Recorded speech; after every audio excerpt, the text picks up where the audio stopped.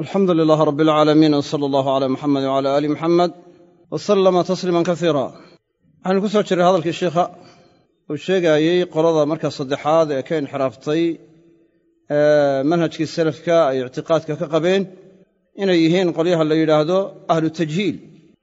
Ahlu tajhiil waa qaar markaa jahli ku xukumaaya khalqigoo dhan odhanaya sifaadka ilaahay ee ku soo arooray qur'aanka iyo sunnada.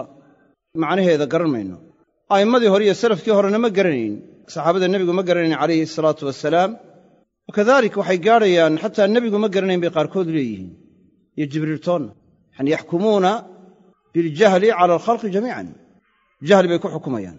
Ruuxuu odhan karaa anigu garan maayo. Lakiin inu yahay salafku ma garanayn a'immadu ma garanayn saxaabadii ma garanayn khulafaa uraashidiinku ma garanayn nebigu ma garanayn jibriil ma garanayn. In sidaa yidhaahdaa waa arrin khalada weeye. Arrin khalada weye arrin khalada weeyaan nusuustan waxay sheegaysaa in waxa weeye nebigu calayhi salaatu wasalaam inuu dadka u caddaynayo oo inuu u caddeeyo ay tahay ka loo soo dejiyey iyagina waxay leeyihiin maba garanayn. Marka waxay qabaan waa ahlu tafwiid mutlaq. Tafwiidka laba nooca tafwiid mutlaq iyo tafwiid muqayad in waxa weeye la yidhaahdo macnaha lamaba garanayo asaalatan be ilaahay waa in looga hadhaa loo bandhigaa oo la yidhaha allaah baa cilmigeeda la gaara sifaadka cilmigooda allah baa la gaara. Allah baynu uga hadhaynaa u daynaynaa fiih natawaqafu fiiha ay fii macaaniiha macnayaasheeda aslulmacnaa xataa waa ka tawaqufaynaa waa ka gaabsanaynaa macnaha jaahil baynu ka nahay tamaaman la yidhahdo waa tafwiid mutlaq. Marka waxaanu la imanaynaa tawaquf. Lafdigeedaynu rumaynaynaa macnaheedana allah baynu uga hadhaynaa waxay leeyihiin rasuulku sala allahu aleyh wasalam ma garanayn macaanida ka lagu soo dejiyey oo aayaadka sifaatka ku saabsan macnayaashooda ma garanayn. Jibriilna ma garanayn. Saabiqiintii hore ma garanayn. Marba hadday yidhahdeen nebigu ma garanayn jibriilna ma garanayn. Waxaa la garanayaa saabiqiintu inaynay garanayn.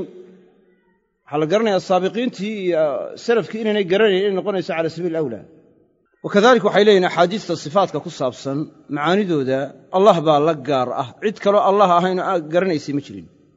Nebigu calayhi salaatu wasalaam inaanu garanayn bay sheegayaan. Oo rasuulku sala allahu alay wasalam waxaanu garanayn buu ku hadlaa ma waxaanu garanayn dadka u gudbinayey allo wax markaa macno ahaan ay sheegayso maba garanayn miya iyadoo la garanaayo axaadiista nebigu ibtidaa'an inuu ugu hadlay. Oo dee alfaadda iyo hadalkan lafdigiisa nebiga aleh calayhi salaatu wasalaam xadiis nabowi nebigaa ku hadlay ibtidaa'an macnaha loo waxyoodo. Laakiin tacbiirka isagaa ku cabbiray.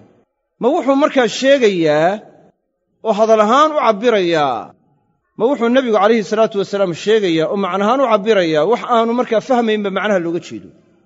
Butlaankeedu waa iska cadiyey waxay u malaynayaan markuu allah uu yidhi wamaa yaclamu ta'wiilahu ila allah yacni ta'wiilka mutashaabiha ma garanaayo allah mooyaane cid kale. Inay u qaateen aayaadka sifaadka ku saabsani inay tahay mutashaabih mutlaqa. Oo tafsiirkooda iyo macnahooda allah la gaar yahay. Waxaanay cuskanayaan markaa in in badanoo salafka ka mida ay isku taageen ila allah lafduljalaalaha waqfi laazima ay isku taageen. Waqfi ahaan halkaa ay ku waqfiyeen. Wamaa yaclamu ta'wiilahu ila allah. Waana waqfi saxiixa buu yidhi waqfigaasna waxaa laga soo naqliyey jumhuurka culammada inay ku waqfiyeen. Waayahay sheikhu laakiin wuxuu leeyahay waxaynay kala farqin laba shay. Erayga ta'wiil baa waxaa looga jeedaa macaani kala duwan. Waa eray mushtaraka mushtarak waxaa la yidhaahdaa waa eray ku tusinaaya ama laba macne ama wax ka badan. Waxaanu kuu tusinaya cala sabiil xaqiiqa. Taasaa waxaa la yidhahdaa mushtarak baa la yidhahda waa lafdi la wadaago macaani mutacadidaa wadaaga si xaqiiqa inay u wadaagaan. Xaqiiqiya majaasna kuma kala ahee way u siman yihiin. Sidana waa loo isticmaala sidana waa loo isticmaala marka waxay kala farqin waayeen ta'wiilma waxaa looga jeedaa tafsiirkii iyo macnihii. Ila ereyga ta'wiil waa loo isticmaalaa bimacna tafsiir. Ibnu jariir atabari tafsiirkiisa markuu leeyahay alqawlu fii ta'wiili qowlihi tacaala wuxuu u jeedaa fii tafsiiri qowlihi tacaala ta'wiil buu isticmaalaya tafsiir baan u jeedaa. Xagga nusuusta waxay ku soo aroortay ta'wiil iyadoo tafsiir looga jeedo hadalka uu nebigu yidhi calayhi salaatu wasalaam allahuma faqihu fi ddiin wacallimhu ta'wiil ay tafsiir cabdullahi bni cabbaas markuu u ducaynayey nebigu wuxuu yidhi calayhi salaatu wasalaam ilaahu diinka fahansii wacallimhu ta'wiil ta'wiilkana bar bimacnaa tafsiirka bar. Marka ta'wiilka waa loo isticmaala bimacna tafsiir loogama jeedo markaa wamaa yaclamu ta'wiilahu ila allah. Tafsiirka ma garanaayo allah mooyaane cid kale muraadku maaha. Oo nusuusu sifaat tafsiirkooda waa la garanaya adigu bacdu ahlicilmi waxay qabaan kolley alxuruuf almuqaaca aliflaam miim iyo xuruufta la midka ah. Bacdi culammada ka mida yidhi macnahooda allah mooyaane cid kale garan mayso oo ka dhigay mutashaabih mutlaq ah ama xaqiiqi ah. Laakiin qur'aanka inta kale tafsiirka marka waxa weeye kelimaadka iyo jumalka ku sugan waa la garanaya waana la fasira alxuruuf almuqatacana culammada qaarkood waxay u qabaan macnaheeda inay garanayaan waana fasireen. Waana fasireen. Marka ta'wiiloo bimacnaa tafsiir loo jeedo iyo ta'wiiloo ku ilaahay la gaar noqday cilmigiisa ah labadaasa inay kala farqin. Ta'wiilka uu allah cilmigiisa la gaar noqday waxa weeye kayfka sifaatka ilaahay yihiin ama daatada ilaahay tahay ama xaqiiqadiiyo kunhiga ay noqon doonaan ashyaadu oo ku dambayn doonaan xaqiiqatu maa ya'uulu ilayhi shay dee waa cilmi ilaahay la gaaryahay oo ta'wiil mar baa loo isticmaalaa. Shaygu ma'aal ahaan wuxuu noqon doono oo ta'wiilka qiyaamadu waa in qiyaamadu dhacdo. Ta'wiilka jannada iyo naartu waa laftooda weeye xisaabta ta'wiilkeedu waa in xisaabtii dhacdo khalqiga la xisaabo. Xaqiiqatu maa ya'uulu ilayhi shay ta'wiil waa la yidhahdaa. Yowma ya'tii ta'wiiluhu waxaa loo jeedaa xaqiiqadiisii laga warramaya markay timaaddaa laga tilmaamaya. Marka bimacnaa tafsiir haddii looga jeedo tafsiirka xuruuf almuqataca oo dee khilaaf ku jira mooyaane tafsiirka qur'aanka waa la garanayaa ahlucilmigu waa garanayen wadannuu ana ata'wiila fii kalaami illahi wa ta'wiilu almadkuuru fii kalaami almuta'akhiriin halkan wuxuu tilmaamayaa ta'wiilka lagu sheegay hadalka allah iyo ta'wiilka ay istilaaxan muta'akhiriinta hadalkooda ku yimaadda bay waxay maleeyeen inay isku mid yihiin. Oo istilaax ahaan ta'wiil waxay u yaqaaniin istilaaxa muta'akhiriinta waa sarfu allafdi can alixtimaali alraajixi ila alixtimaali almarjuuxi lidaliilin yaqtarinu bidalik. Waa in hadalkii laga leexiyo ixtimaalka raajixa ah ee uu daahirka ku yahay oo ka marjuuxa loo leexiyo. Looguna leexiyo daliil sidaa ku lamaanoo ku tusinaya biduuni daliil haddii la leexiyo oo macnihii raajixa ahay uu ku miisaanka lahaa laga leexiyo oo macnaha marjuuxa loo leexiyo wuxuu noqonayaa ta'wiil faasiduu noqonaya marka hadduu daliil ka madhnaado waa ta'wiil baatil ah ama faasid ah bacdina waxaabay ka cabbiraan lacib. Wax daliil uu mooday hadduu markaa waxawe ku awilo laakiin xaqiiqatan aan daliil u ahaynna waxaa laga cabbiraa ta'wiil baciid. Ayaa laga cabbiraa. Ta'wiil baciid baa laga cabbiraa. Daahirkii inta la khilaafo macnihii raajix ahaa marjuux loo leexiyo. Waa yahay.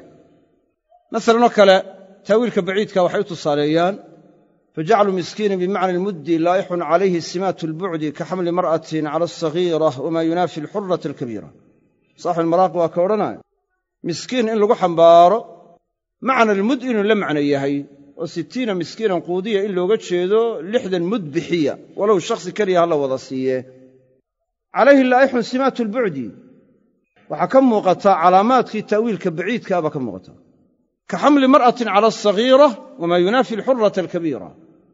Xaaluu la mid yahay sida markaa mar'a in lagu xambaaro tii yarayd ee sagiirada ahayd ayuma imra'atin nakaxat bigayri idni waliyiha fa nikaaxuhaa baatilun xadiiska nebiga sala allahu aleyh wasalam ayuma imra'atin waxa weeye waa caam waa siiqu lcumuum markaase waxay yidhahdeen xanafiyadu waxay qabaan qofkii dumar ahayd hadday tahay qof dumaroo weyn oo caqligeedii dhammaystirayoo qaangaadh ah way mehersamaysaa weli la'aantii. Xadiiska markii lagu soo arooriyey waxay yidhaahdeen ayuma imra'atin waxaa loo jeedaa yacnii inan yar baa loo jeedaa. Ee gabadhan weyni soo geli mayso iyadu muraad maaha waxaa laga tilmaamayaa inan yar oo carruur ah.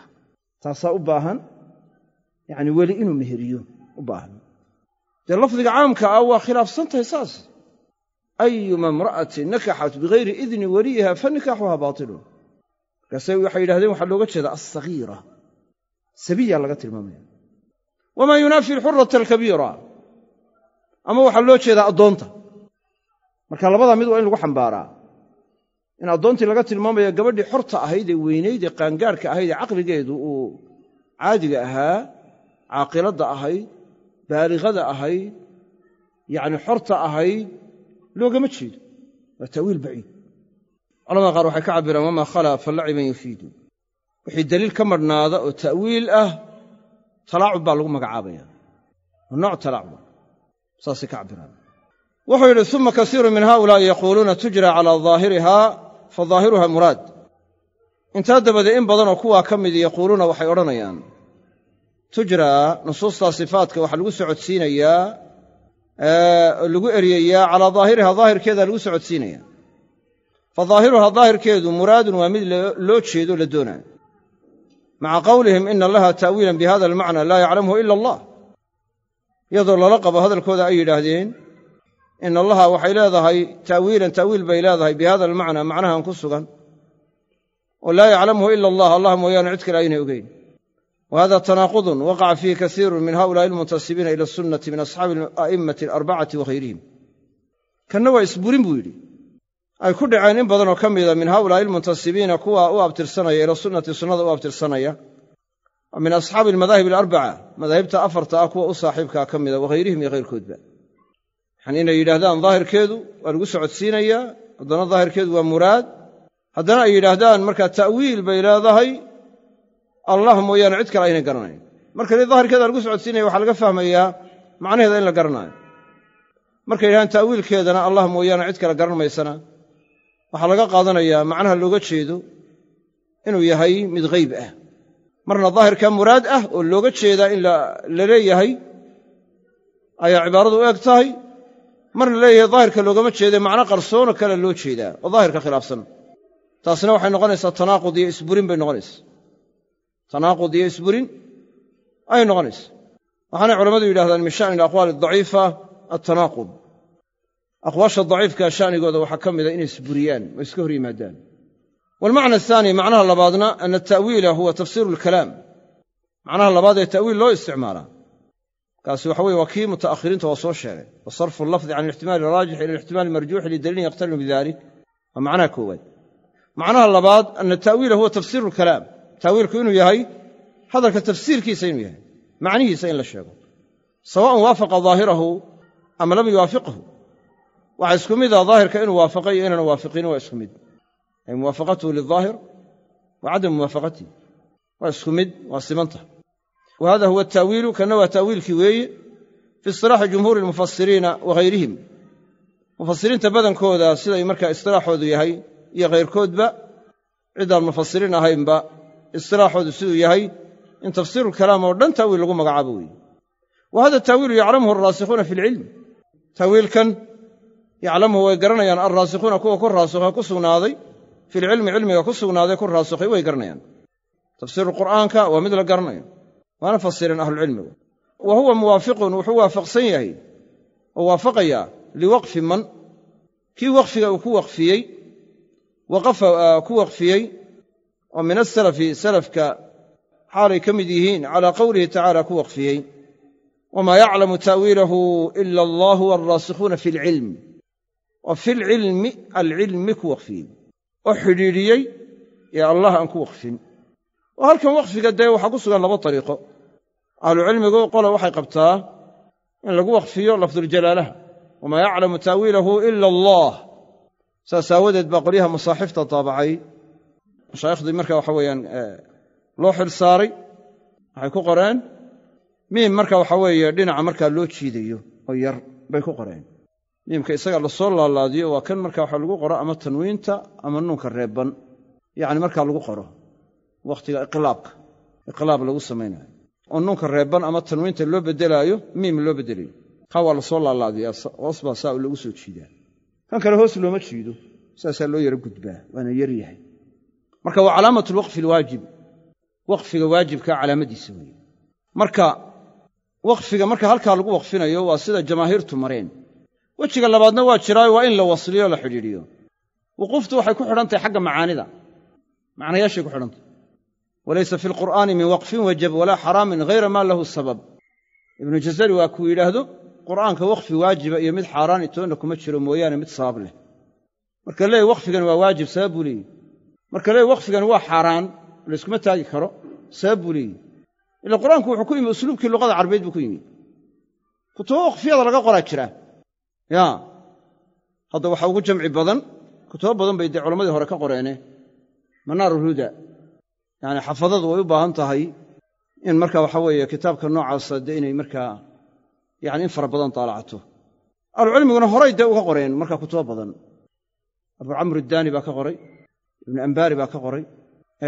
Ahlucilmi badan baa ka qoray. Laakiin khulaasadii waxa jamciyey markii dambe akhiiran iyadoo kutub fara badan laga qoray casharaat min alkutub laga alifay tobannaan markaa kutub yacni laga qoray. Haddana kitaabka manaarulhuda khulaasadii iyo miiddii kutubtaasi waa ku kulansanta. Mawdic kasta waqfina ka warramaya. Almuktafa fi alwaqfi iyo alwaqf walibtidaa iyo kutubaha laga alifay yani waxa weye badan yihiin waa marka waxa weeye dariiqada labaadoo ah in markaa warraasikhuuna fi lcilmi la wasliyo waxaa lagu xambaaraya laba macnaa lagu kala xambaaraya. Labaduba waa xaq. Kama nuqila dalika can ibni cabbaasin wa mujaahidin wa muxamed ibni jacfar ibni zubayri wa muxamed ibni isxaaqa wa bni qutaybata wa gayrihim. Sida laga soo raray in la waslinaayo la xidhiidhinayo oo aan allah lagu waqfinayn ee lala xidhiidhinaayo cilmi laysku taagayo. Alcilmi laysku taagayo wamaa yaclamu ta'wiilahu ila allahu waalraasikhuuna fi alcilm sida laga soo raray ee laga soo naqliyey can ibni cabbaasin cabdullahi ibni cabbaas wa mujaahidin iyo mujaahid wa muxamed ibni jacfar ibni zubayr iyo wa maxamed ibni isxaaqin wa bni qutaybata wa gayrihim. Ibnu cabbaas labada qowl baa laga soo raray. Maruu odhanayo ila allah baa lagu waqfinaya laysu taagayaa iyo maruu odhanaayo waa la xidhiidhinaya. Wa biictibaar sheikhu waxau yihi raximah allah wa kila alqowlayni labada qowl mid waliba xaqun xaq weeye biictibaarin. Macna marka loo eegaayo ayuu markaa xaq noqonaya ictibaar baa loo eegaya kama basadna fii mawaadica ukhar. Saan ku balballaadhinoo ku bastinnay mawaadic kale. Walihaada nuqila can ibni cabbaasin haada wa haada. Saas aawadeed baa cabdullahi ibni cabbaas laga soo raray. Yacni kan iyo kanba bimacnaa ila allaah allah in lagu waqfiyo aan la xidhiidhin? Iyo in la xidhiidhiyo? Wamaa yaclamu ta'wiilahu ila allahu waalraasikhuuna fi alcilm halkaa la taago waa yahay. Walihaada nuqila can ibni cabbaasin haada wa haada. Saas aawadeed ba cabdullahi bni cabbaas labada qowl ba laga soo naqliyey. Halka horaa lagu waqfiyo iyo maya ha la xidhiidhiyo halka dambe ha lagu waqfiyo. Wa kilaahumaa xaqun labada mid waliba waa xaq.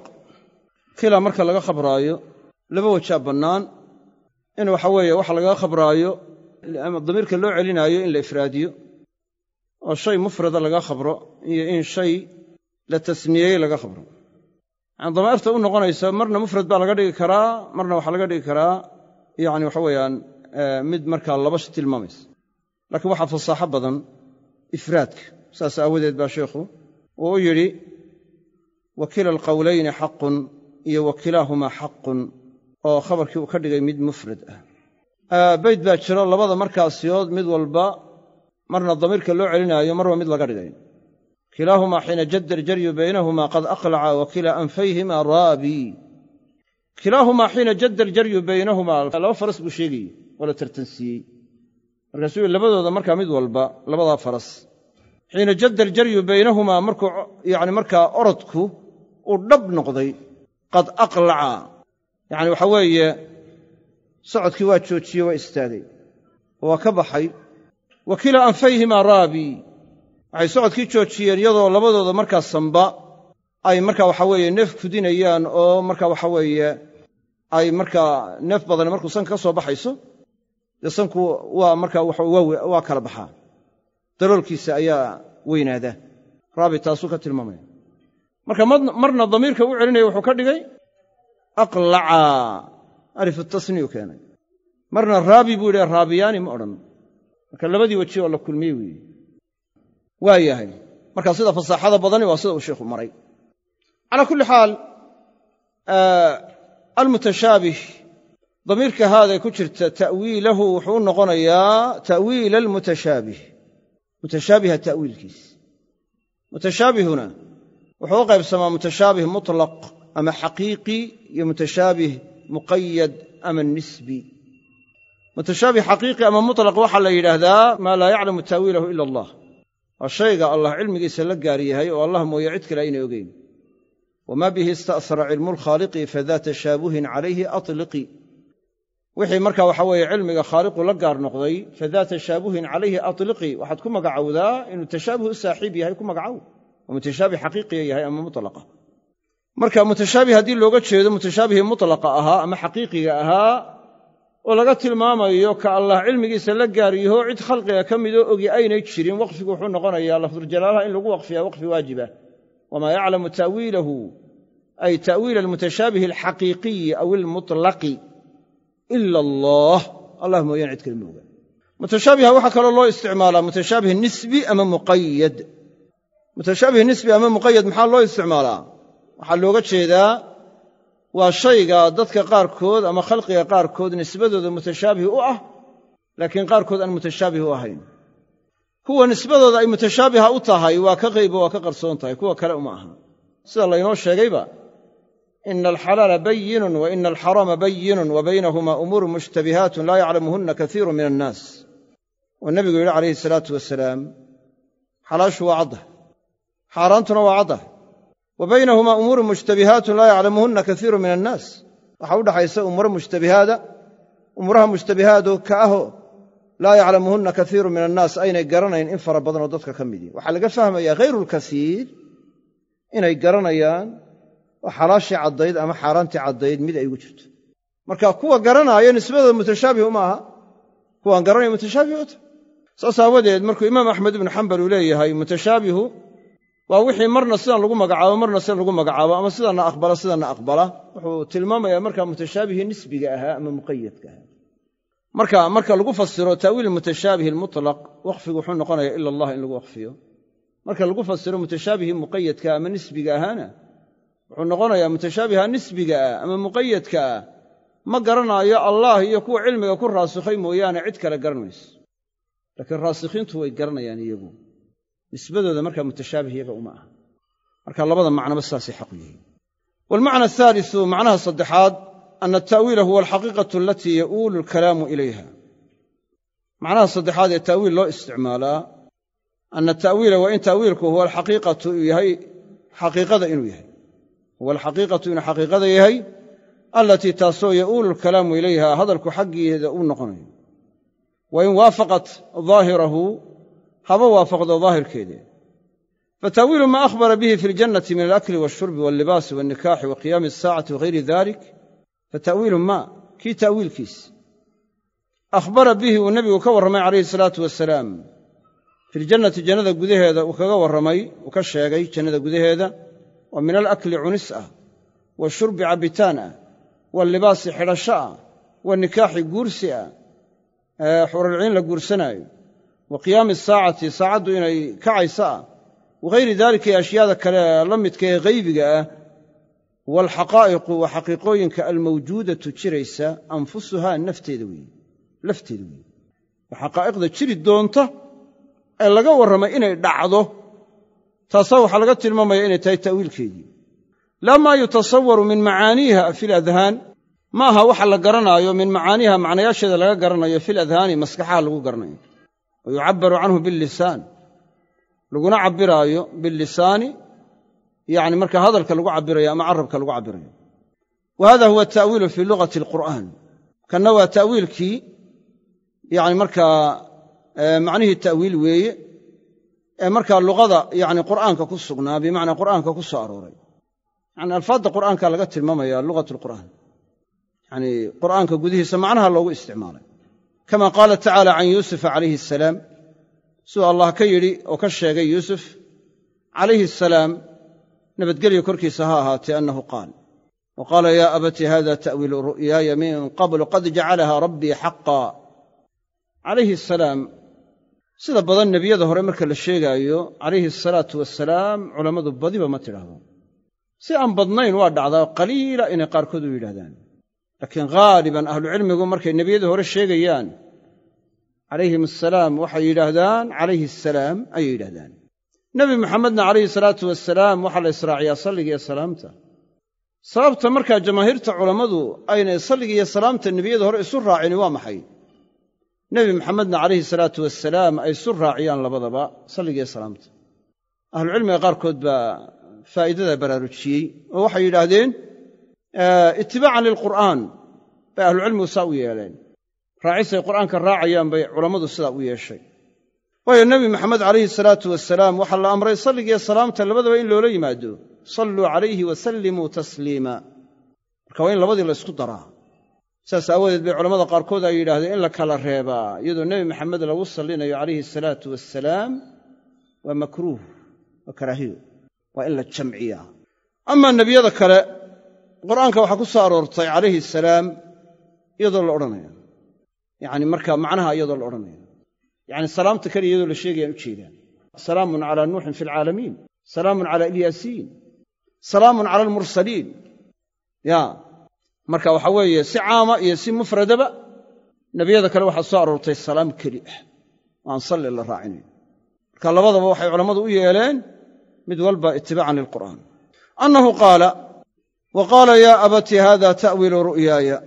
Wuxuu yidhi yuusuf yaa abati aabbahayow haada ta'wiilu ru'yaaya? Kani waa riyadayda ta'wiilkeedii bimacnaa xaqiiqadii ay noqonaysay ee ay sheegaysay oo dhacday min qablu. Wakhti hore riyadan ku riyooday ta'wiilkeedii weeye qad jacalahaa rabbii xaqaa.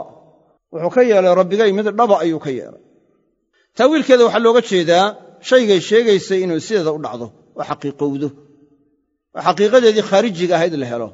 Wa qaala tacaala allah wuxuu yidhi hal yanduruuna ilaa ta'wiilah miyay suganayaan? Gaaladu ilaa ta'wiilahu. Ta'wiilkii qur'aanka mooyaane ma wax kalay sugayaan.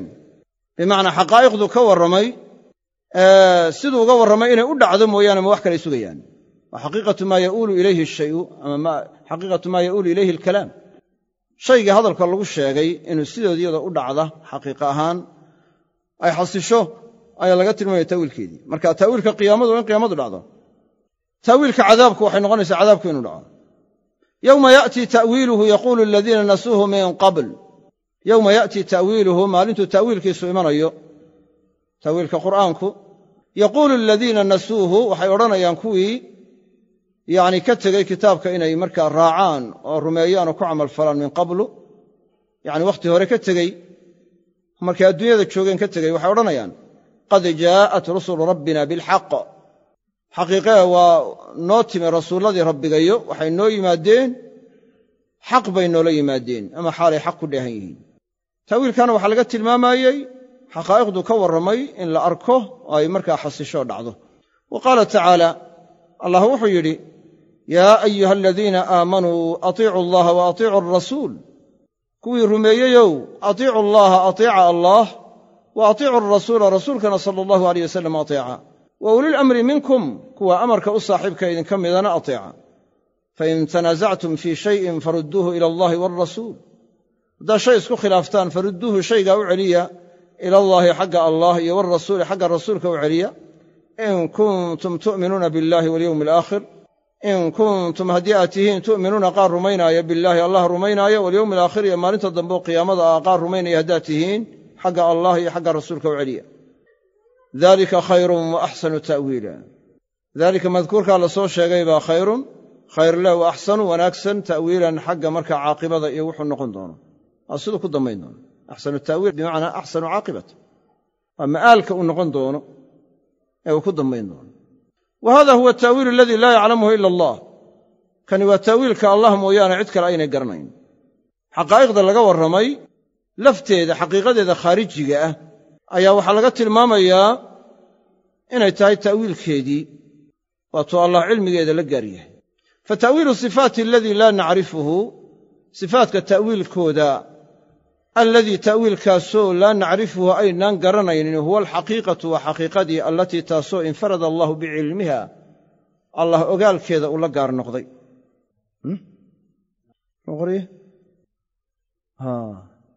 Fa ta'wiilu sifaati aladii laa nacrifuhu. Aniga dee ziyaaduu iigu daray mugti. Macnaahaan way isu tegaysaa isku midkii laakiin waxaa ii qoran fa ta'wiilu sifaati aladii laa nacrifuhu huwa alxaqiiqatu alatii infarada allaahu bicilmiha saas sheegteenna waa la macnaa sidani waxay tahay sifaadka ta'wiilkooda alladii ta'wiilkaasoo laa nacrifuhu ta'wiilka aynaan garanayn yacanii kaas aynaan garanayn ta'wiilka ah huwa alxaqiiqatu waa xaqiiqadii allatii xaqiiqadaasoo infarada allaahu bicilmihaa allah ula gaar noqday ogaalkeeda iyo garashadeeda ula gaar noqdo cid khalqiga ka midoo garanaysaa ayna jirin. Sida nuskhada muxaqaqada qoranna waxay tahay fa ta'wiilu sifaati huwa alxaqiiqatu alatii infarada allaahu bicilmiha sifaatka ta'wiilkoodu huwa alxaqiiqatu waa xaqiiqadii allatii taasoo infarada allaahu bicilmiha allah ula gaar noqday ogaalkeeda la gaar noqday. Iyo aqoonteeda. Wa huwa alkayfu waa kayfka weeye. Kayfkaasoo almajhuulu laga jaahil yaho khalqigu ay ka jaahil yihiin aynay garanayn yacanii sifadu sida ay tahay iyo kayfiyadda ay tahay dee khalqigu jaahil bay ka yihiinoo allah baa cilmigeeda la gaara. Laa yaclamu kayfa huwa ilaa huwa. Siday culammadu marka ay yidhaahdaan laa yaclamu kayfa huwa ilaa huwa. Siduu allah yahay iyo kayfka uu yahay isaga mooyaane cid kale garan mayso. Wa huwa alkayfu almajhuulu waa kayfkii laga jaahilka ahaa alladii kaasoo qaala fiihi salafu sha'nigiisa ay ka yidhaahdeen salafku ka maalikin wahayrihi sida maalik iyo hayrkiiba ay ka yidhaahdeen alistiwaa'u macluumun waalkayfu majhuulun.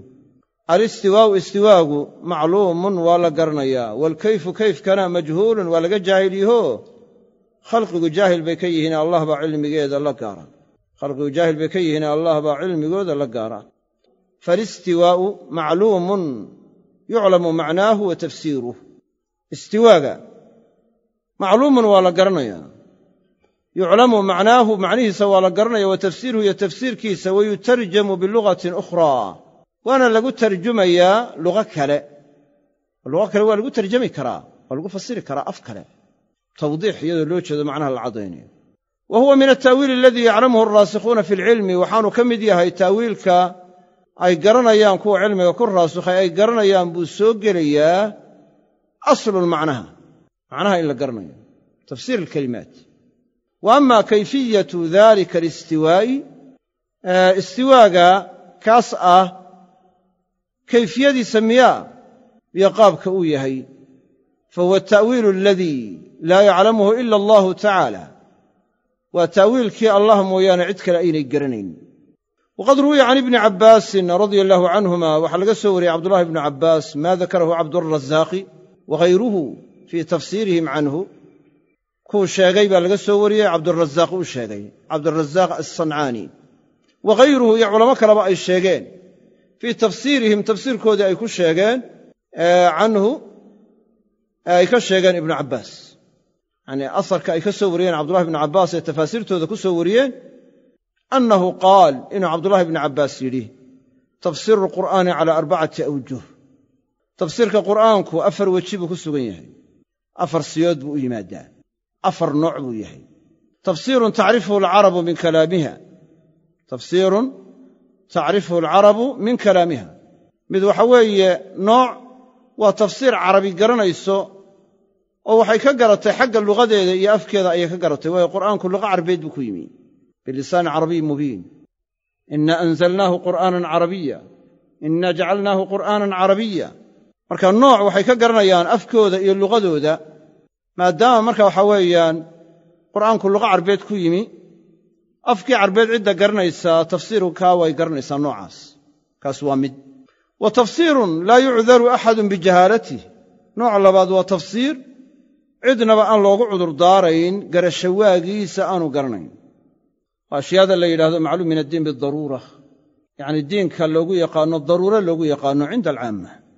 Qofna loogu cudri maayo garashawaagiis wa tafsiirun yaclamuhu alculamaa iyo tafsiir culammadu ay garanayso. Dadka caammada ah aynay garanayn. Wa tafsiirun laa yaclamuhu ila allahu caza wajal iyo tafsiir allah mooyaane cid kale aynay garanayn. Caza ilahay isagaa haaliba wajalla isagaa weyn. Man iddacaa cilmahu fahuwa kaadib. Kii cilmigiisa iyo garashadiisa sheegtaa been buu sheegayaa. Been? Ayuu sheegayaa. Wuxuu sheekhu inoo tilmaamayaa nooca saddexaad ee ta'wiilka ee erayga ta'wiil loo isticmaalo waa xaqiiqada shaygu noqon doona ayaa ta'wiil la yidhahdaa. Kaasna nusuusta waa ku soo arooray macnaha iyadoo looga jeedo. Yacani laba macne ayuu nusuusta ugu soo arooray erayga ta'wiil. Macna waa tafsiiru alkalaam wa macna alkalaam. Allahuma faqihu fi ddiin wacallimhu ta'wiil. Ta'wiilkaa tafsiirka looga jeedo waa kaa cabdullahi ibnu cabbaas loogu ducaynayey. Culammaduna ay leeyihiin alqowlu fii ta'wiili qowlihi tacaala ay fii tafsiirih ibnu jariir wakhayruhu culamada qaarkood oo mufasiriinta ka mida ay isticmaalaan. Waxa weeye macnahaasi waa jiraa nusuustana waa ugu yimi. Culammaduna waa isticmaaleen iyagoo ta'wiilka uga jeeda bimacnaa altafsiir uga jeeda. Kutubta tafaasiirta qaarkood baa marka waxa weye ta'wiil lagu magacaabay. Ama madaariku ta'wiil ha la yidhaahdo ama marka waxa weeyaan yani ta'wiil alqur'aan ha loo bixiyo ama wax la mida waxaa loo jeedaa un tafsiiruhu macnaha labaad ee ta'wiil loo isticmaalaa waxay tahay waa xaqiiqada shayga laga warramayo. Xasilitaanka ay xasisho dhacdo oo xaqiiqa khaarijiya ay yeelato.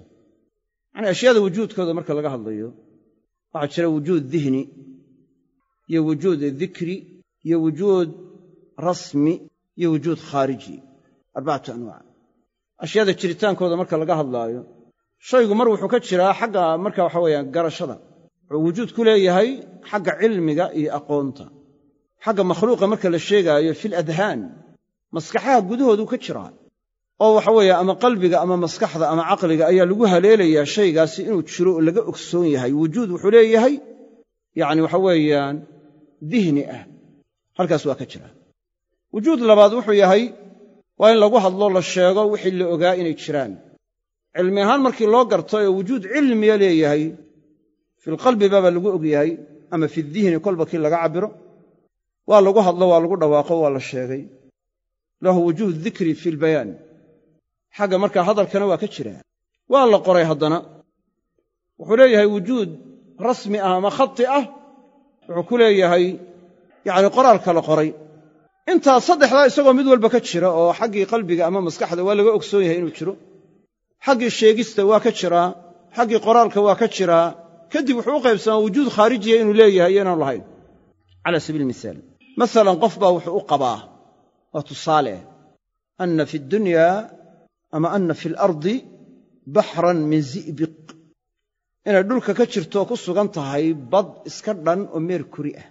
Meerkurigu waa macdan qaali ah. Yacni garaamis baa lagu iibiyaa. Shaygu hadduu qaali yahay intiisa yar baa dee markaysa markaa noqonaysaa mid waxa weeye miqyaaska lagu qiyaasaya wuxuu noqonayaa wax yar. Qiimaha la siinayaana waa badanayaan hadduu shaygu fara badan yahay qiimaha lagu qiyaasayaa waa badanaya waxa lagu qiyaasayaa waa fara badanayaan. Imka haddaad dee ciid dalbato ama dhagxan dee lowdh baa lagu xisaabtamaya sooma bal lowdhkii maxaad iigu keenaysa? Markaasaa dee uu kohanaya intaasaan kugu keenaya. Marka bad iska dhan oo meerkuriyi inay dunida ka jirto qofka u qaba isaga ictiqaadkiisa waxaasi waa ka jiraan isaga cindigiis fi ictiqaadihi waa jirtaa baxrun min zi'biq wuu sheego waa ku hadlo waa shaaciyey. Xagga marka hadalkiisana waa ka jirtaa iyo bayaankiis. Waa qorayoo haddana waxa weeyaan qoraal buu ku sameeyey. Xagga qoraalkiisana waa ka jirtaa. Walaa wujuuda lahu fi alkhaarij khaarijka markaa xaqiiqa khaarijiya ma leh oo dunida lagama helaayo bad iska dhan oo meerkuri ah. Haddamaalta marka maraatibulwujuud waa afartaas watay qaarkood ka cabbireen maraatibulwujuudi arbacuun faqad xaqiiqatun tasawurun lafdun fakhat maraatibta wujuudku waa afar. Xaqiiqatun tasawurun lafdun fakhat xaqiiqadu waxaa laga tilmaamaya xaqiiqa khaarijiya. Tasawurkuna waa idraak waa garasho. Waa in aqoon ahaan sidaa loo qabo loo garanaayo loo ogsoon yahay. Lafdun waa in lagu dhawaaqo oo hadalka xaggiisa ka jiro. Fakhat waa qoraalkii. Waxay yidhaahdeen waxaa laga qaadanayaa qur'aanka intii ugu horraysay soo degtay waa laga qaadanayaa maraatibulwujuudkaas iqra' bismi rabbika aladii khalaq. Khalaqa alinsaana min calaq iqra' warabbuka alakram aladii callama bilqalam callama alinsaana maa lam yaclam iqra' bismi rabbika aladii khalaq. Iqra' bismi rabbik. Qiraa'adu waxay noqonaysaa maxay? Wujuudkii dikrigii iyo bayaaniga ahaa. Callama bilqalamna kii khadkiiyo qoraalka ahaa callama alinsaana maa lam yaclamna kii waxa weeye markaa cilmiga ahaa ee markaa waxa weeye la garanaayey alladii callama bilqalam iyo bismi rabbika rabbi xaqiiqa khaarijiyuu leeyahay. Marka afartii wujuud ba waxa weeye waxaa laga maraatib alwujuud alarbac aayaadkii ugu horreeyey qur'aanka soo degay ba afartuba ku sugan yihi magaca rabbi waa la akhrinayaa ya waa la aqoonsaday waa la qorayaa. Haddaba maca daalik wuxuu leeyahay wujuud khaariji wujuud khaarijiyuu leeyahay waxay ka cabbiraan cibaaro sajciya qaarkood waa wujuudun fi aladhaan iyo wujuudun fi lbayaan iyo wujuudun bilbanaan iyo wujuudun fi alacyaan adhaan bayaan banaan acyaan yacni saas weeye calaa kulli xaal xaqiiqada khaarijiga ahi waxay noqonaysaa waa wujuudkii khaarijiga ahaa waa wujuudkii khaarijiga uu lahaanaya shaygu haddaba waxaa loo qaybinayaa laba qaybood wujuudkaa ahi shaygu wuxuu noqonayaa kalaam markuu yahay ima khabari wa ima inshaa'i ama waa kalaam khabari ah ama waa kalaam inshaa'i ah oo dalab ah. Xaqiiqada khaarijiga ee kalaamka khabariga leeyahay waxaa weeye sidii looga warramay ee lagu sheegay dee inuu u dhaco. Hadduu inshaa yahayna taawiilkiisu wuxuu noqonayaa imtisaalka la fulinayo. Oo haddii wax lagu amray wixii lagu amray aad la timaaddo taawiilkeedu noqonaya xadiiska sunanka qaarkood soo wariyeen mala culammada qaarkood maqaal baa ku sugan sanadkiisaa bay yidhaahdeene laakiin bacdi soo dhowaynaya quweynayaa jire eh. Nabigu calayhi salaatu wasalaam markii ay ku soo degtay sabbix isma rabbika alaclaa iyo aayaadka la midka ah waxau yidhi ijcaluuha fii sujuudikum. Markay soo degtay fasabbix bismi rabbika alcadiimna wuxu uhi ijcaluuha fii rukuucikum. Kaana yata'awalu alqur'aan. Qur'aankuu ta'awulayay maxaa looga jeedaa bimacnaa awaamirta qur'aanka ku soo aroortuu fulinayey. Waa ta'wiilkii yacni xaqiiqada ahaa laakiin markuu yahay markaa awaamir wuxuu noqonayaa imtisaal la fuliyo. Ayuu noqonaya markuu khabar yahayna khabarku inuu dhacuu noqonaya marka calaa kulli xaal ashyaada ku saabsan marka waxaway umuuraha qaybiga ee laynooga warramay fi sharci. Ta'wiilkeedu wuxuu noqonayaa sida laynooga warramay inay u dhacdo. Qiyaamada ta'wiilkeedu waa inay qiyaamadii dhacdo. Xisaabta ta'wiilkeedu waa inay xisaabtii dhacdo jannada iyo naciimka ku dhex sugan iyo ahlu jannuhu siday ugu nicmaysanayaana ta'wiilkeedu waa inay nicmadii sidii u helaan. Hadday aklish tahay hadday shurbi tahay hadday libaas tahay hadday sariiro tahay hadday nikaax tahay hadday khayrkeed tahay. Waa xaqiiqadii laga warramay oo sideeda u xasisho sideeda u dhacda. Xaqiiqa khaarijiya yeelata. Dee marka laynooga warramayo waxa weye laysa alkhabaru kalmucaayana. Shay marka lagu sheegaayo iyo xaqiiqadiisii oo waaqicay markay ka hor taallo dee fii farq. Farqi baa u jiraya weliba marka laynooga warramaayo umuuraha qaybiga marka laynooga warramayo. Maa cabdullahi ibnu cabbaas yidhi laysa fi dunya mima huwa fi ljannati ila alasmaa. Adduunyada kagama sugna waxa jannada ku sugan magacyada mooyaane wax kale. Taqriib baa laynoogu sheego oo hadda marka waxa wayaan yani masalan waxaynu ku garan karraa uun yani waxa weeyaan magaca ka dhaxeeya iyo qadar mushtarak ah. Marka laynagu yidhahdo xuuralciin dee xuuralciintu waxa weeye iyagii marka waxa weye xaqiiqatan iyagii ma garanayno. Laakiin qadar mushtaraka muxuu ka dhaxeeyaa annisaa'u fi dunya. Inay nooc marka waxa weye shabaha leeyihiin.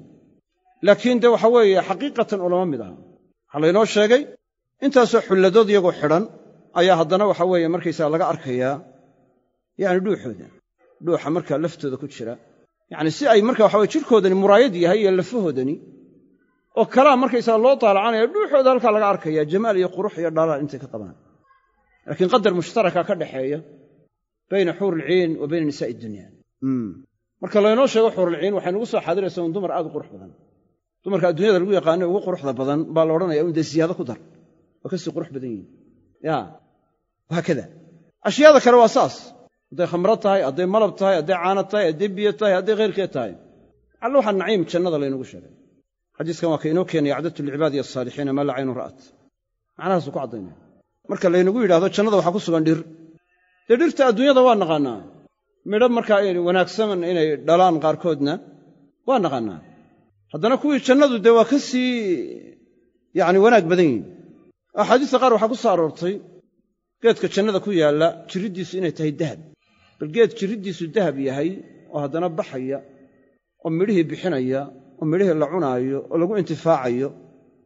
Ka warran. Se cajiib maa waa cajiib. Marka farqi baa jira. Waxa jannada ku sugan iyo waxa adduunyada yaalla. Haddana marka waxa fahmulmacnaa maxaa keensanaya? In magacu ka dhaxeeyo labada magac ay wadaagaan. Maca daalik qadar mushtaraki jiro oo marka in ka dhaxaysay wadaagaanna ay jirto.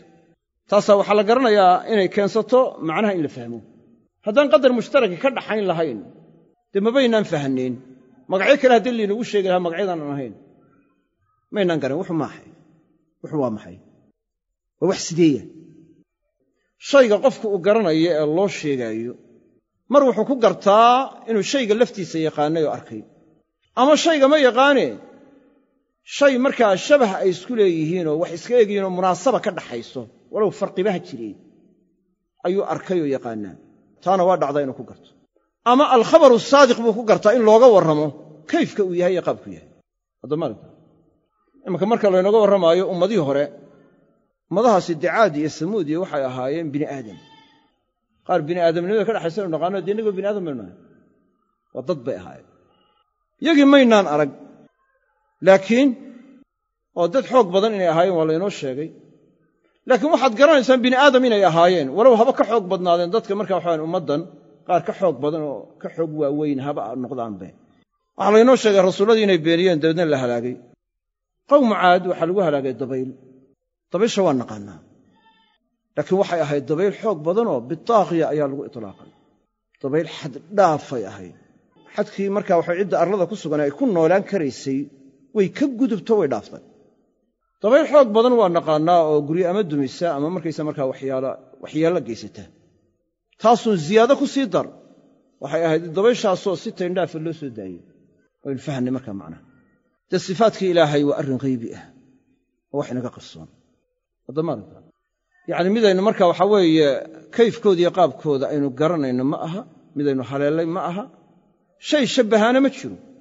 Shay shabbahaana maba jiraba.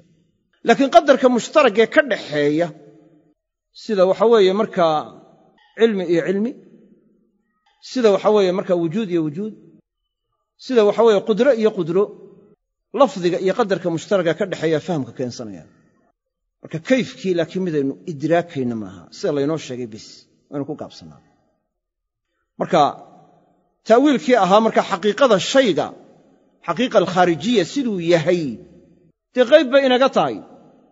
Daatada ilaahay iyo sifaatka ilaahay kayfka yihiin waa xaqiiqadeedu khaarijigaa qayb bay inaga yihiin taasaa la odhanayaa wamaa yaclamu ta'wiilahu ila allah.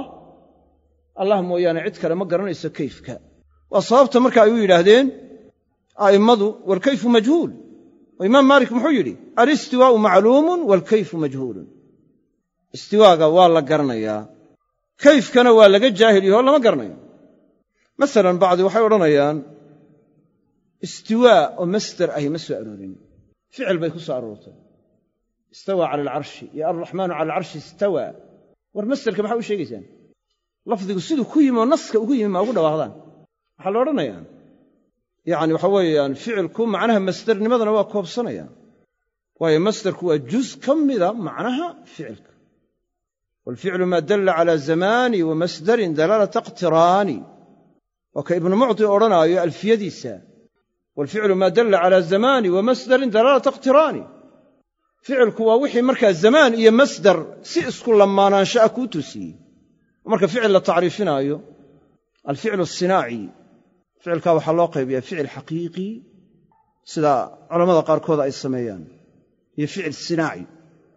Alficlu sinaaci waxaa la yidhahdaa ficilka aad taqaaniin ee loo qaybiyo saddexda qaybood ficil maadi ah iyo ficil mudaarica iyo ficil amara. Alficlu sinaaci weeye. Alficlu alxaqiiqi waa masderka siday culamada qaar ka cabbiraan. Marka ficilka sinaaciga ahi wuxuu koobsadaa macno masdar iyo zaman ku lamaan oo marka la tacriifinayo waxa la yhaha maa dalla cala xadasin muqhtarinan bihi axadu alasminati asalaasa ficil waxaa la yidhahdaa alficlu asinaaci waa wixii xadas dhacdo tilmaamaya. Ku lamaan saddexda wakhti mid ka mida wakhtigii tegey iyo wakhtiga jooga iyo wakhtiga soo socda saddexdaa mid ahaan baa ku lamaan marka idan macnaha masdarnimadu waxay ku sugan tahay fii dimni alficli bay ku sugan tahay waana juz macnihiisii ka mid a. Waxay ka dhigan tahay marka istawa la yidhi istawa istiwaa'an bay ka dhigan tahay. Istiwaa'an waxay ku guda jirtaa ficilka gudihiisa. Saas aawadeed baa damiirka loo celiyaa wakhtiyada qaarkood. Ya icdiluu huwa aqrabu liltaqwa cadaalad sameeya. Huwa damiirku xagguu u noqonaya alcadlu waa cadli xaggee lagu sheegay. Ficilkuu ku guda jiray. Huwa cadligu aqrabu liltaqwa taqwada isaga dhow. U fiirsoo salafkii baa isticmaalay. Haddaad macaanidaa fahmi weydo aad tidhaahdo niyow anigu markaysaga waxaa la sheegayo ma garanayo. Ama markaysaa markaa nusuusta sifaatka tawqiifi inay tahaan u qabaa. Inay bidcaa la timaadeen armay tahay. Waa dhici kartaa dee dadka marka waxa muta'akhiriintaha inaad bidca ku tuhunto waa suuragal. Laakiin imaam maalik miyaad ku tuhmaysaa imaamu daarilhijra soo sunniyun quxun maaha. Soo salafkii lagu dayanaya kama mid ahaa asaaniid saxiixay kaga sugan tahay. Alistiwaa inuu isticmaalay. Oo yidhi alistiwaa'u hayru majhuul. Alistiwaa'u macluum. Fahamkaaga haddaad ku haleeli weydo. Yacani waxa weeye dee a'immada ku dayo. Faltahdika alquruuna alawaa'ilu. Qarniyada hore ha ku hanuuniyaane dee iyagii ku dayo. Marka waxa weeye alistiwaa'u macluum. Waalkayfu majhuul imaam maalik waxaa laga soo wariyey asaaniid badan. Laba lafdi baana loo soo naqliyaa. Lafdiga ah alistiwaa'u hayru majhuul. Alistiwaa'u hayru majhuul. Waalkayfu hayru macquul. Asaaniid saxiixa lagu hayaa mutacadida. Istiwaagu waa midaan laga jaahil ahayn. Waa midaan la garan waayin. Waalkayfu hayru macquul. Kayfkana waa midaan la caqliyaynayn oo caqligeenna aynaan ku idraakayn oo ku garanayn. Sida labaadee loo soo raraa waxay tahay alistiwaa'u macluumun waalkayfu majhuulun waa sida inoo qoran.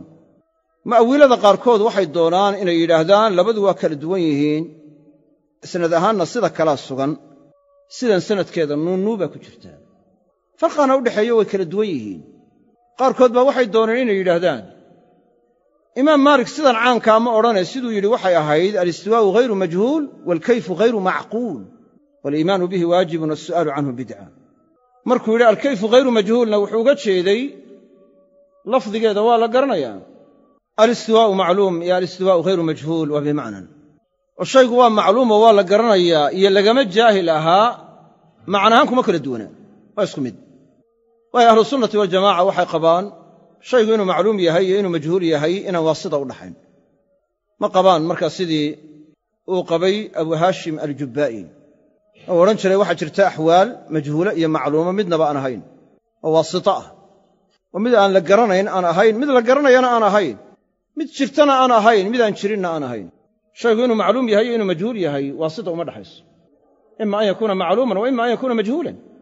Marka waghayru majhuul waxay la macnato u dhigantaa waa macluum. Laa farqa. Waa waadix. Qodobka labaad oo ku saabsan waalkayfu majhuulun iyo waalkayfu hayru macquul yaduna waxa weeye waa bimacnan. Waxay dooneen qaarkood inay yidhaahdaan waalkayfu hayru macquul. Waxaa looga jeedaa waa mustaxiil kayfku. Oo allah kayfba uma sugna. Sifada ilaahay kayf ma laha. Laa kayfa laha. Waxay leeyahay hayru macquul. Waxaa looga jeedaa bimacnaa waa mustaxiil. Waxayna u cuskadeen luqada daarijada hadda in loo isticmaalo. Yacni hayru macquul in la yidhahdo iyadoo sidaa looga jeedo. Laakiin cibaarada sidan lafteeda waa laga soo wariyey. Markiisa markaa imaam maalik waalkayfu majhuul culammada maalikiya qaarkoodna waa uga soo naqliyeen. A'immadina sidaasay u fahmeen. Keligiina maaha culamo kalena waa isticmaaleen. Abu jacfar atirmidi waxau idhi annuzuulu macluumun waalkayfu majhuulun waaliimaanu bihi waajibun waasu'aalu canhu bidca waana min a'immati salaf. Hadalka maalik baanu de ikhtibaasayey oo ka dhimbiil qaatay. Imaam maalik istiwaagu ka yidhi soo maha isaguna nuzuulku ka yidhi. Annuzuulu macluum waalkayfu majhuul waaliimaanu bihi waajibun waasu'aalu canhu bidca yacni sifaatka in ariiqaa la wada marinaya laga qaadanaya. Waatay culammadu yidhaahdaan alqawlu fii bacdi sifaati kaalqawli fii bacdin sifaatka qaar waxaa laga yidhahdaa kuwa kalena laga odhanaya. Kuwa kalena laga odhanaya. Marka ariiqaas baa la wada marinaya. Inay yidhaahdeen alistiwaa waxaa looga jeedaa waa lafdigiisaa la garanayaana sax maaha oo marka macluum la itlaaqo ma lafdigay ku dhacaysaa mise waxay ku dhacaysaa marka waxa weeyaan in macnaha hataa la garanayo in macnaha la garanaya ku dhacaysa bidaliil inay salafku fasireen istiwaaga oo mujaahid oo ka mida taabiciintii ardaygii ibnu cabbaasna ah wuxuu uhi istawaa wa cala. Bukhaari baana saxiixiga ku soo arooriyey. Fii saxiixii ku keenay. Abulcaaliya oo isaguna taabiciintii ka mida culammadii taabiciinta waxau yidhi istawaa wa irtafaca. Marka tafsiirka ay fasireen lafteedu waxay caddaynaysaa in istiwaaga macnihiisa la garanayo lafdigay fasirayaanna waa lafdiga nusuusta ku soo arooray weeye oo qur'aanka ku yimi kaasay fasirayaan. Marka calaa kulli xaal mawduuca kolay ku saabsan tafwiidka mutlaqa ah dib baynu markaa raddigooda ka caddayn doonnaa aasaarta salafka ee ka hor imanaysa tafwiidka mutlaqaana insha allahu dib baynu ka keeni doonnaa. Laakiin hadda waxa weeye waxaa la sii ogaanayaa yacni marka waxa weye khulaasada markaa guud ee mas'aladu ay leedahay. Wuxuuna sheikhu yidhi istiwaaga waa macluum oo macnihiisa waa la garanayaa iyo tafsiirkiisa. Luqo kalena waa loo tarjami karaa. Bacdi waxay yidhahdeen lama tarjami karo sifaadka. Lafdigay ku soo aroortay sideeda ugu dhawaaqa. Luqo kale ha ku tarjamina. Waxay cuskadeen hadal markaa laga soo naqliyey sufyaan bnu cuyayna oo ay yidhaahdeen lama tarjamayo ayuu yidhi. Haddana kuwa odhanaayo lama tarjamayo oo doonaya inay hadalkaa cuskadaan sifaad badan bay markaa tarjamaan u fasiraan. Sifaad badan bay markaa tarjamaan u fasiraan oo marka waxa weye cilmiga iyo qudrada iyo kalaamka iyo samciga iyo basarka waa haluma jara waa fasiraan. Ya waa fasiraan. Luqo kaley ku tarjamaan. Maanic diidaya luqo kale in lagu tarjamaa haddii xaajadu keensato ma jiro. Waana dhacday salafka qaarkood inay tarjameen oo cabdullaahi almubaarak oo a'immadii salafka ka mida ayaa dee tarjamay. Oo markuu xadiiska nuzuulka marka uu sheegayey waxau yidhi yanzilu kayfa yashaa waxaa allah u soo degaa siduu doono inuu u soo dego. Dabeedna luqa alfarisiyu ku tarjamay. Kelimaadkii farrisiga ahaa ayuu ku fasirayaa oo la macnaa intaas. Alimaamu albayhaqi wuxuu ku soo aroorinayaa alasmaa wasifaat kitaabkiisa ah. Asarka markuu keeno sufyaan ibnu cuyayna ka labaadee uu ku xigsiinaya waa ka ibnumubaarak oo sheegaya yanzilu kayfa yashaa siduu doonu u soo degaa oo odhanayaa sidaas marka waxaan yani ayuu yidhi ibnumubaarak markaasuu farrisiga sidaa inuu ku cabbiray sheegayaa tarjamadana raacinaya yanzilu kayfa yashaa inay la macnata cabdullahi mubaarakna wuxuu ka mid aha min a'immati salaf. Ayuu ka mid aha bacdu salaf oo yidhi tafsiiruhu qiraa'atuhu waa jiraan. Waxaa u fasiraada akhrinta la akhrinayo waxay u jeedaan yacni waxa weeye sida daahirka markaa ka muuqata ayaa lagu fasirayaa ee sida daahirka khilaafsan laguma fasirayo marka dib baynu ka caddayn doonnaa insha allahu tacaala amiruuha kama jaa'at. Iyo waxa weeye markaa siday u soo aroortay u mariyo u socodsiiya iyo eryada la midka ahi macnaha laga tilmaamaya inay noocaas tahay. Kolle in yar oo la sii xidhiidha ayaa inoo dhiman. Iyo asarka ibnu cabbaas inaynu caddayno. Wakhtigaa kolle inaga dhacay halkaa iskaga joogo